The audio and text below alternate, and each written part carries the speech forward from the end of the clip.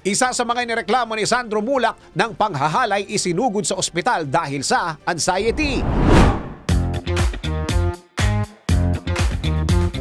Para sa aking balitang showbiz, isinugod sa ospital si Richard Cruz, ang isang independent contractor ng GMA Network na inakusahan ni Sandro Mulak ng sexual harassment. Ayon sa legal counsel ni Cruz na si attorney Maggie Abraham Garduque, itinakbo sa ospital noong August 13 ang kanyang kliyente dahil sa anxiety attack.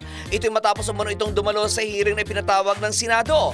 Sinabi pa ni Garduque na nabanggit na niya noong pa na nakakaranas ng physical at psychological stress, hindi lamang si Cruz kundi maging ang isa pa niyang kliyente na si Jojo Nones nang kumalat sa social media ang pictures ng mga ito na umano'y siyang umaboso kay Sandro. Bagamat inosente pa raw ang kanyang mga kliyente dahil wala pang kasong isinampa laban sa mga ito, ngunit na-crucified na raw ang mga ito sa social media at ang hearing sa Senado ay nakadagdag sa nararamdaman ng kanyang kliyente.